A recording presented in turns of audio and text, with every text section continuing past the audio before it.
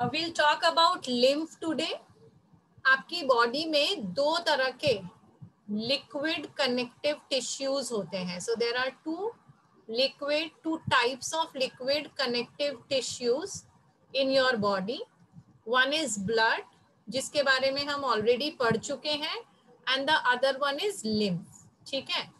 एक क्वेश्चन आ सकता है टू मार्क्स का. Differentiate between blood and lymph two marks का क्वेश्चन आ सकता है। लेक्चर के एंड में इसको डिस्कस करेंगे। So let us first understand what is lymph so lymph is colourless sorry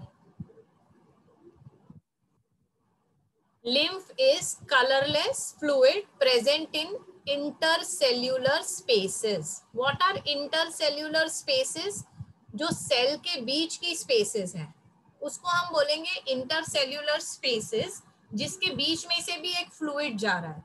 देखो, हम लोग जितने भी मैमल्स हैं we have a closed circulatory system closed circulatory system का मतलब समझते हैं आप? बताइए मुझे what do you mean by closed circulatory system दो तरह के सर्कुलेटरी सिस्टम होते हैं एनिमल्स में। एक होता है क्लोज्ड और दूसरा होता है ओपन ओपन जिसमें कि ब्लड फ्री ओपन साइनसेस में बहता है ओपन स्पेसेस में बहता है। यहाँ पे ऐसा नहीं होता है यहाँ पे blood is flowing in blood vessels blood vessels मतलब कौन से blood vessels arteries veins and capillaries तो जनरल जो टिश्यू है वो ब्लड वेसल्स में ही फ्लो कर रहा है। पर सेल्स के बीच में से भी एक फ्लूइड है जो फ्लो कर रहा है जिसको हम बोल रहे हैं लिम्फ। तो लिम्फ कहाँ मिलेगा आपको? लिम्फ आपको मिलेगा इंटरसेल्यूलर स्पेसेस में। नाउ क्या किसका बना हुआ है? What is the composition of lymph so it is formed from plasma कहाँ से आया ये plasma it escapes from the capillaries capillaries ठीक है हमने लास्ट टाइम पढ़ा था कि आर्टरीज डिवाइड होके बहुत छोटी छोटी कैपिलरीज होती है। कैपिलरीज का वॉल इतना थिन होता है कि anything can ooze out from it and anything can enter the capillaries तो सेल्स तो अंदर रह गए। सेल्स का साइज़ ज़्यादा है तो वो कैपिलरीज में से बाहर नहीं आ पाएँगे। पर plasma is the liquid part of the blood plasma capillaries की वॉल में से बाहर आ जाएगा और वो क्या बन जाएगा? वो लिम्फ बन जाएगा। अब ये लिम्फ इंटरसेल्यूलर स्पेसेस में से बहते बहते बहते बहते कहा जाएगा? ये जाएगा लिम्फेटिक कैपिलरीज में। और लिम्फेटिक कैपिलरीज आगे जाके क्या बना देंगी? वो आगे जाके बनाएँगी लिम्फ वेसल्स। और ये लिम्फ वेसल्स का जो नेटवर्क है वो आपस में ज्वाइन हो हो के क्या बनाएगा? It will large vein large veins तो फाइनली ये ब्लड में से आया था और वेन्स की मदद से ये वापस ब्लड में चला गया है ना लिम्फ ऊज आउट कहाँ से हुआ था इंटरसेल्यूलर Blood. में से ब्लड में से और वो वापस ब्लड में ही चला गया तो what is the path capillaries intercellular spaces, lymphatic capillaries, lymph vessels and veins. अच्छा तो इसके फ़ंक्शन क्या है? देखो, यहाँ से दो क्वेश्चन आ सकते हैं। Question number one is what is lymph and what is its composition तो आप बोलेंगे lymph is a colourless fluid present in intercellular spaces. What is its composition? It is made up of plasma and lymphocytes. Lymphocytes क्या होते हैं? Lymphocytes होते हैं W क्या काम होता है डब्ल्यू का? इम्यूनिटी बिल्ड करते हैं। मैंने आपको एक वीडियो भी शेयर किया था। है ना? एक वीडियो भी शेयर किया था आपके साथ। वो क्या करते हैं? They will kill germs and protect the body तो लिम्फ के अंदर मेनली दो चीज़ें होती है। एक होता है प्लाज्मा दूसरा होता है लिम्फोसाइट्स जिनका काम है इम्यूनिटी बिल्ड करना to kill germs and protect the body और तीसरा उसमें क्या है? तीसरा उसमें है डाइजेस्टेड फैट्स डाइजेस्टेड फैट्स कहाँ से आया? देखो याद करो। फैट का डाइजेशन कहाँ कंप्लीट हुआ था मुझे बताओ। Small intestine very good fat का डाइजेशन कंप्लीट हुआ था स्मॉल इंटेस्टाइन में। और फैट डाइजेस्ट होके क्या बन जाते? हैं पहले तो मुझे ये बताओ कौन सा एंजाइम है जो फैट को fatty very good fatty acids and glycerol अच्छा। Glycerol. ये बताओ इसको डाइजेस्ट करने के लिए एंजाइम कौन सा चाहिए?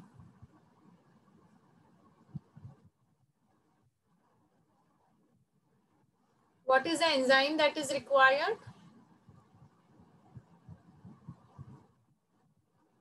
Lipase याद आया आपको? Yes, ma'am. यस मैम तो लाइपेज फैट को डाइजेस्ट कर देगा फैटी एसिड और ग्लिसरॉल में। अब ये ब्लड में नहीं जा सकते। ब्लड में क्यों नहीं जा सकते? क्योंकि ब्लड तो एक्वियस मीडियम है और ये ऑयली है। ऑयल और वाटर कभी मिक्स नहीं हो सकते। तो ये फैट्स एंड ग्लिसरॉल ये जाएँगे लिम्फेटिक कैपिलरीज में। ये लिम्फेटिक कैपिलरीज कहाँ है? वो जो विलाय था ना स्मॉल इंटेस्टाइन की वॉल में ऐसा ऐसा वहाँ पे ये लिम्फेटिक कैपिलरीज है। तो वो डायरेक्टली लिम्फेटिक कैपिलरीज में चला गया। तो डाइजेस्टेड एंड एब्जॉर्ब फैट को ट्रांसपोर्ट करने का काम किसका है? लिम्फ का है। वो ब्लड में ट्रांसपोर्ट नहीं होगा। Is that clear Yes, ma'am. Yes ma'am चलो देखते हैं आपने कितना समझा है तो अब आप मुझे ये बताइए I want to ask few questions what is lymph Lymph is a colorless fluid present in intercellular space. Charvi बताइए चारवी बताइए Lymph is a colorless fluid present in intercellular space. Okay next question Brugesh बताएँगे what is the composition of lymph Lymph is made up of plasma and lymphatic. तीन चीज़ें हैं कौन सी कौन सी प्लाज्मा Plasma. lymph- और digested fats. ठीक है ये जो वर्ड है ना लिम्फोसाइट देखो इसको ब्रेक डाउन करो। साइट्स का मतलब होता है सेल लिम्फो का मतलब होता है जो लिम्फ में सर्कुलेट कर रहा है। तो जो लिम्फ में सर्कुलेट कर रहा है वैसे सेल को आप बोलेंगे लिम्फोसाइट Lymphocyte. अब कौन मुझे बताएगा three functions of lymph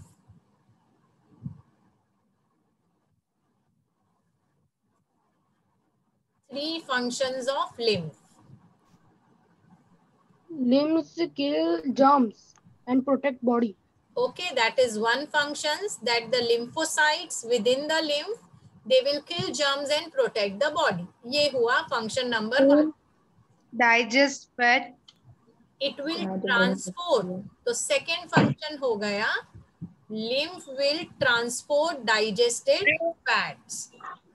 Drains Drains excess fluid from spaces back into the blood. it drains excess fluid from blood. spaces back into the blood what does that mean अच्छा मुझे बताओ कभी किसी का फ्रैक्चर हुआ है क्या फ्रैक्चर हुआ हो कोई सॉफ्ट टिश्यू इंजरी हुई हो यस मैम यस मैम क्या होता है जब फ्रैक्चर. होता है या तो सॉफ्ट टिश्यू इंजरी होती है तब मैम फूल जाता है बोन क्रैक हो। जाता है स्वेलिंग आ जाती Bone crack. खून क्रैक होता है। है ना? बोन्स क्रैक होते हैं वो तो हमको बाहर से नहीं दिखता है पर स्वेलिंग आती है वो हमको बाहर से दिखता है है ना? वो ऐसा Yes, सूज इतना Yes. हो जाता है। तो वो क्यों मोटा हो जाता है?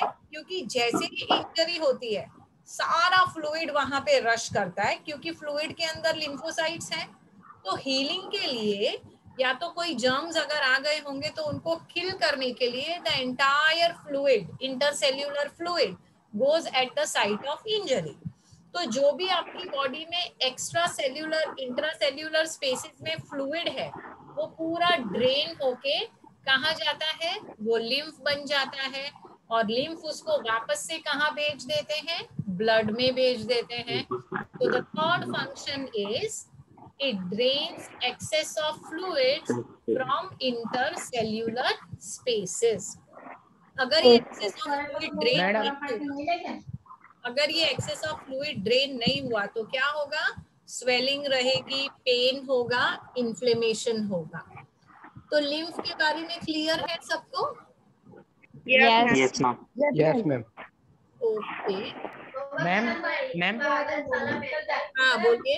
मैम अच्छा हम लोग ऑलरेडी हार्ट के बारे में पढ़ चुके हैं और हमने देखा था कि जो मैमल्स का हार्ट है वो कैसा होता है? उसमें कितने चैम्बर्स होते हैं? बताओ। फोर चैम्बर फोर चैम्बर्स होते हैं। कौन से कौन से फोर चैम्बर्स तो when you talk about the heart in mammals there are two chambers sorry there are four chambers right and left atrium and right and left ventricle. अब ये जो chambers हैं, ये कैसे separate किए हुए हैं? There is a wall. वो wall को क्या बोलेंगे? Septum. Very. Septum. The wall is known as septum. क्यों हाँ, ऐसे भी छाल बना के रखी है? क्यों हमको सेपरेट रखना है चैम्बर्स को? Deoxygenated and oxygenated blood blood blood should remain separate why should it remain अलग रखना है? हमको सेपरेटेड मैम क्योंकि क्योंकि सप्लाई ऑफ़ ऑक्सीजन क्योंकि जब करेक्ट क्योंकि जब ऑक्सीजनेटेड ब्लड बॉडी में सर्कुलेट होगा तो बहुत सारी एनर्जी चाहिए। क्यों बहुत सारी एनर्जी चाहिए हमको? To maintain body. Because we have to maintain a constant body temperature हम कैसे एनिमल्स हैं? हम वार्म ब्लडेड एनिमल्स हैं, जिनको साइंटिफिक लैंग्वेज में बोलते हैं होम्योथर्म्स ठीक है? बाहर 40 40 डिग्री टेम्परेचर भी होगा तो भी हमारी बॉडी का टेम्परेचर कितना रहेगा? 25 26 डिग्री सेल्सियस रहेगा 40 डिग्रीज नहीं हो जाएगा। तो हम अपना बॉडी का टेम्परेचर मेंटेन करके रखते हैं, उसके लिए एनर्जी लगती है। जैसे घर में जब एसी चलाते हो तो इलेक्ट्रिसिटी खर्च होती है ना? बाहर कितना भी गर्म हो अंदर एसी में ठंडा लगता है पर उसके लिए इलेक्ट्रिसिटी खर्च करनी पड़ती है Similarly, to maintain your body temperature, you require energy, and for constant supply of energy, you require oxygenated blood that has more amount of oxygen, so more glucose oxidation and more energy. Clear है relation? Yes ma'am Yes. Amphibian और reptilians की बात करते हैं तो उनके पास कैसा heart है?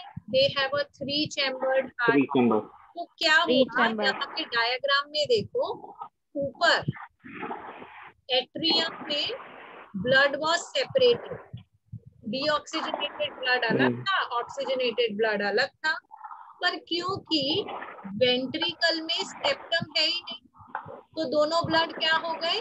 मिक्स हो गए। up हो गए. तो अब जो बॉडी में सर्कुलेट कर रहा है क्या सर्कुलेट कर रहा है?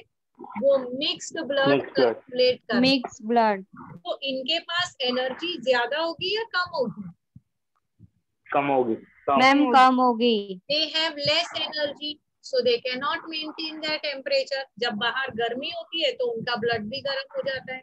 जब बाहर सर्दी होती है तो उनका ब्लड भी गर्म ठंडा हो जाता है। इसीलिए वो अपना बॉडी टेम्परेचर मेंटेन नहीं कर पाते। इसीलिए जब बहुत ठंड होती है तब वो कहाँ चले जाते हैं? हाइबरनेशन हाइबरनेशन हाइबरनेशन बहुत गर्मी होती है तो वो कहाँ चले जाते हैं? एस्टिवेशन में। एस्टिवेशन एस्टिवेशन का एग्ज़ाम्पल क्या है? एस्टिवेशन का एग्ज़ाम्पल है स्नेल और हाइबरनेशन का एग्ज़ाम्पल क्या है? Polar bear Polar bear. okay so that is about mammals and amphi uh, sorry that is about amphibians and reptiles fishes में क्या होता है देखो fishes में तो और बुरी हालत है they have only two chambered Two chamber.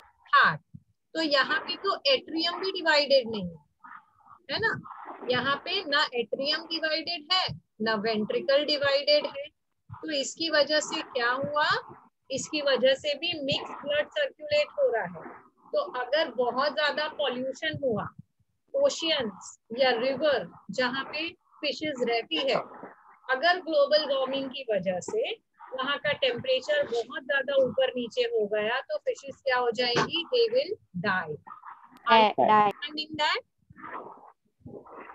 So fishes are very vulnerable to temperature changes. Okay, we have already studied about transport in animals. Plants को भी transport की ज़रूरत पड़ती है क्या? Yes, ma'am. Yes, ma'am. है क्योंकि प्लांट्स में भी तो कितने सारे पार्ट्स हैं स्टेम्स है रूट्स है लीव्स है चीज़ें हैं जो नीचे से ऊपर पहुंचानी है क्या नीचे से ऊपर पहुंचाना है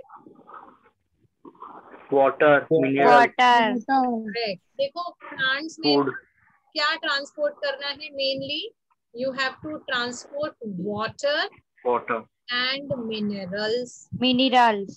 और क्या ट्रांसपोर्ट करना है? Food Food. वाटर और मिनरल्स कहाँ है? सॉइल में है. Soil, सॉइल से कौन ट्रांस कौन एब्जॉर्ब करेगा इनको?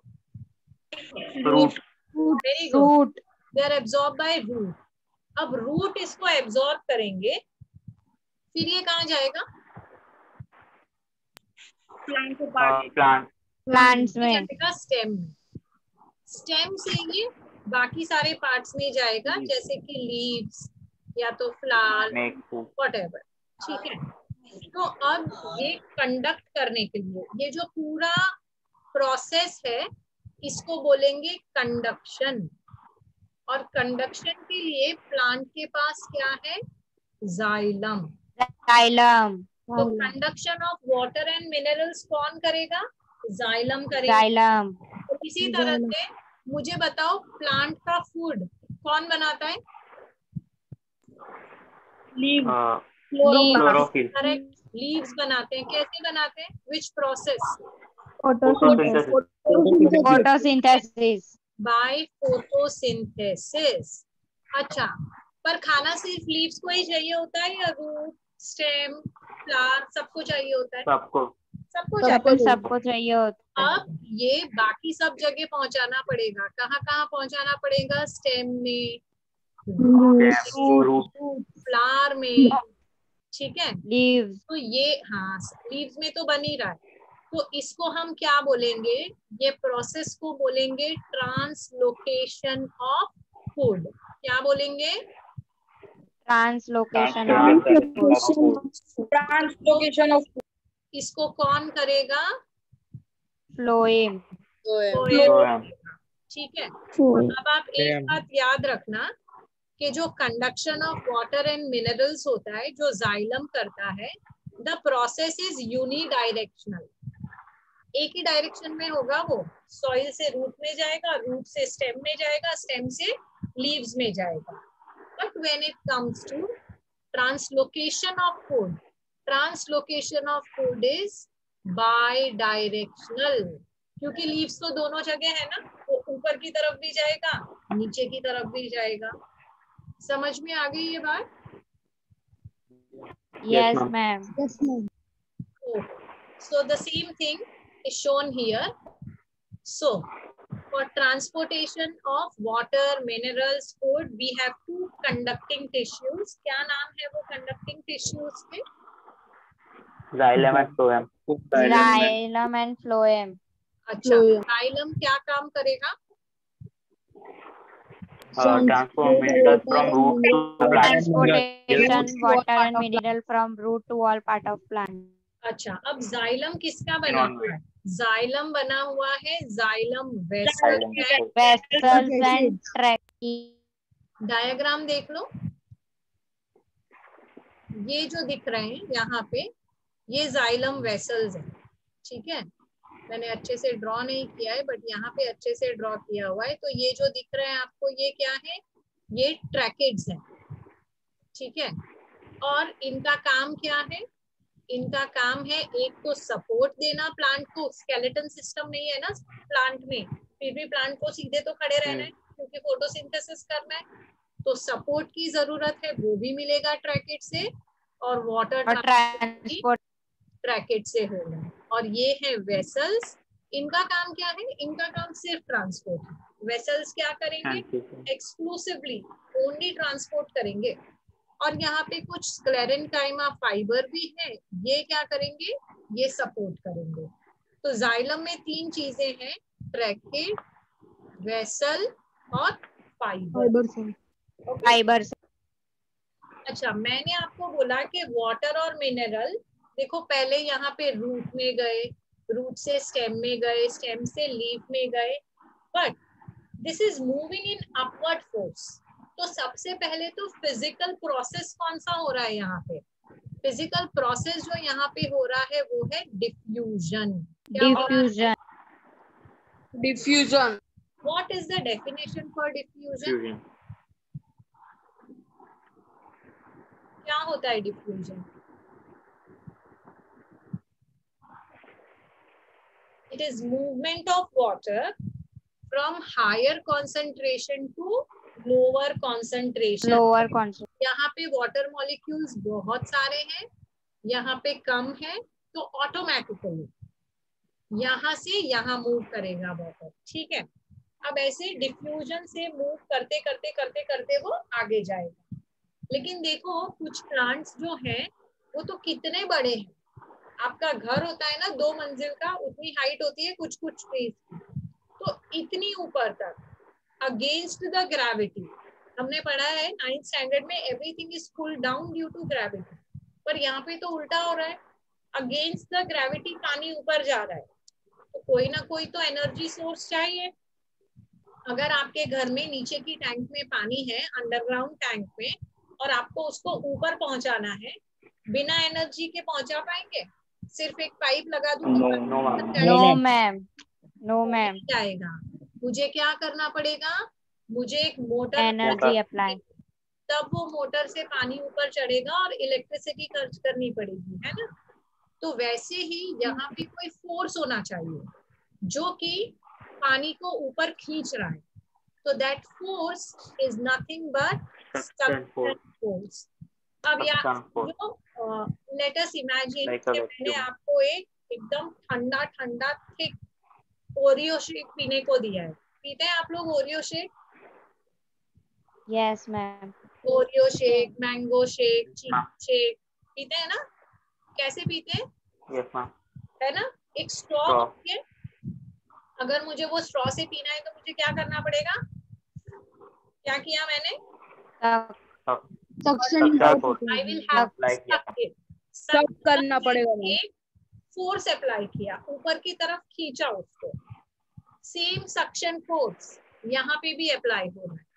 तो ये जो सक्शन फोर्स है ये क्यों क्रिएट हुआ है? ये क्रिएट हुआ है ड्यू टू वाटर इवेपरेशन अब आप मुझे बताइए जो कंटिन्यूसली प्लांट वाटर इवेपरेट करते रहते हैं वो प्रोसेस को क्या बोलते हैं? Reduction No.